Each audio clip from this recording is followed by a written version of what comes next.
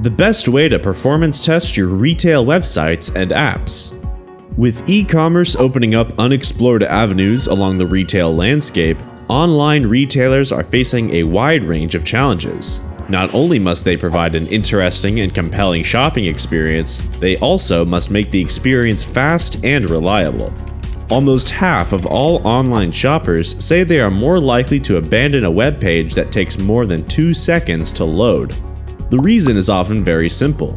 We live in an age of instant gratification and customers don't like to wait.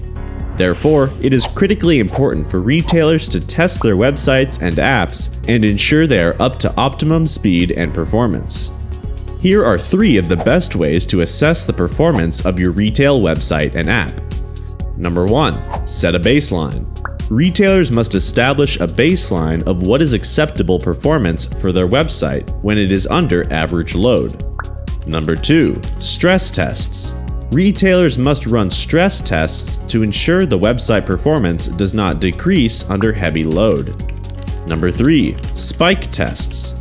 A spike test is when a very large number of users ramp up very quickly or almost simultaneously on a website retailers must ensure bandwidth is flexible to handle peak times. Reviewing analytics from these three tests can help developers build efficient and reliable websites that load quickly and get users along in the buying journey at a speed they love. If you want to know more about the benefits of website and app performance testing, click the link below for more information.